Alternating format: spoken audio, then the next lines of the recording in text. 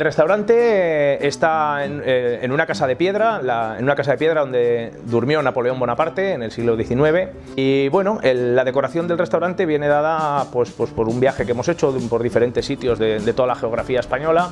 Sitios como por ejemplo en Madrid eh, nos hemos basado pues pequeños rincones, por ejemplo la, frutería de San Quintín, en Ten con Ten, en el barrio de Barcelona El en algunos de los locales. Entonces lo que hemos querido es eh, coger de cada sitio el concepto, el concepto no, no una copia, sino el concepto de cada rincón intentando pues crear un espacio, aunar en un solo espacio diferentes restaurantes.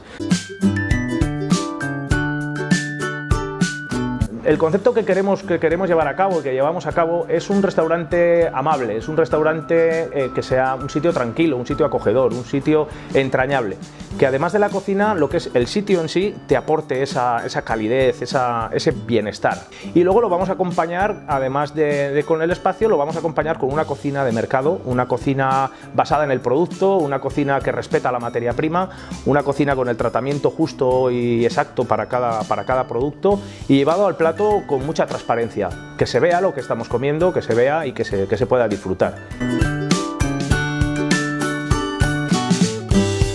No renunciamos a la carta, pero nuestro fuerte, en lo que queremos incidir y ser los mejores,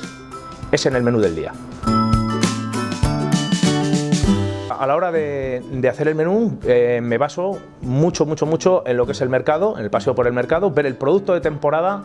y el tiempo que va a hacer al día siguiente. Con, con el tiempo y el producto confeccionamos el mejor menú de Vitoria.